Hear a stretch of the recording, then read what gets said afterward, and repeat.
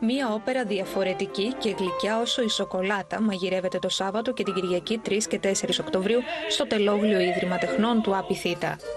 Στην κουζίνα των ιδρυτών Νέστορα και Αλίκη Τέλογλου, στον ειδικά διαμορφωμένο χώρο για την παράσταση, ο σεφ ζαχαροπλαστική και ειδικός του σοκολάτας Τέλειο Παλιάρος, σε ρόλο έκπληξη, δημιουργεί επισκηνής. Για μένα ήταν μια πρόκληση όταν δέχτηκα ένα τηλέφωνο να συμμετάσχω σε μια όπερα.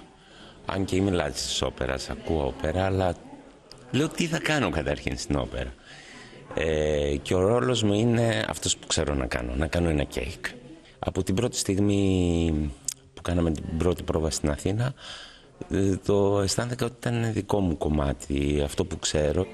Το Bon Appetit είναι μια μοναδική γαστριμαργική περιπέτεια του Αμερικανού συνθέτη Lee Hoiby που παρουσιάζεται από την ομάδα όπερα The Medium Project για πρώτη φορά στην Ελλάδα. Ε, είναι μια ολόγλικη παράσταση γιατί πάνω μέσα στην παράσταση ετοιμάζεται ένα ολόγλικο κέικ.